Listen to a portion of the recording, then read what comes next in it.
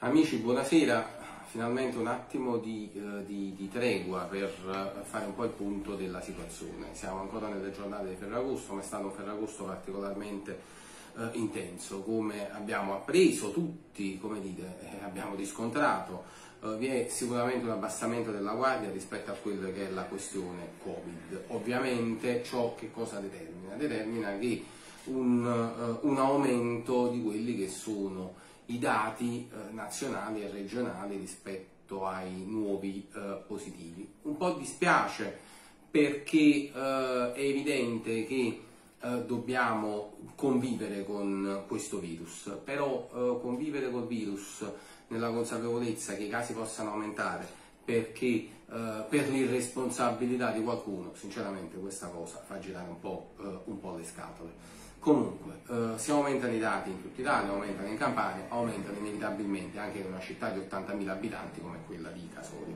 Ieri vi ho comunicato un positivo, oggi eh, in questo momento devo comunicarvi anche di un altro positivo, quindi allo stato attuale Casoria ha 4 concittadini positivi al Covid, nello specifico una persona eh, ottantenne eh, ospedalizzata, un, uh, un, concittadino che uh, è, da, è stato in vacanza a Malta, un'altra che ha avuto contatti con la Francia e poi un'infermiera. A tutti loro va il mio affetto, il mio sostegno, a loro e alle loro famiglie e la mia solidarietà.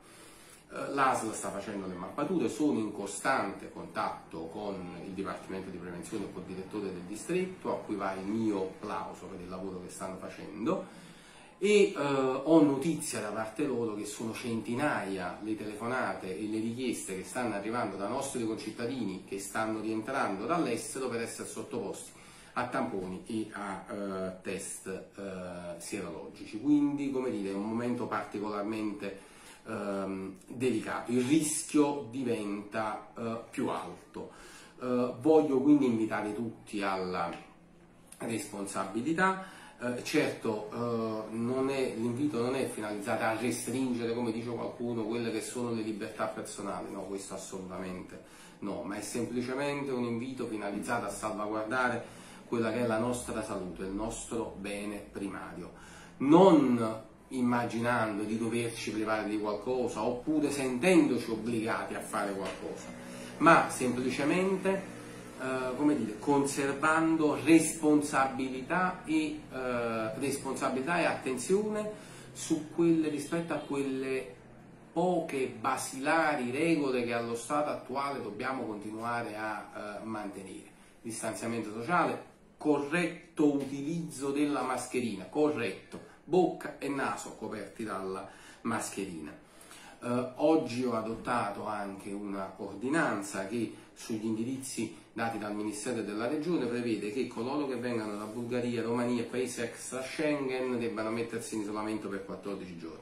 Chi viene da Croazia, Grecia, Malta e Spagna si debba denunciare entro 24 ore al Dipartimento di Prevenzione e mandare un'email anche al Comando Vigili di Casoria Uh, e se si è rientrati nei 14 giorni antecedenti ad oggi anche denunciarsi e soprattutto rimanere, questo è un elemento, rimanere in isolamento fino all'esito del tampone o del test. Uh, e se non sarà fatto, rimanere in isolamento per 14 giorni. Non è possibile girare per la città in attesa che sia fatto il tampone, in attesa del risultato del tampone, in attesa che si sia chiamati, col rischio che appunto si possa, eh, si possa essere quasi da untori. Non, non è tollerabile.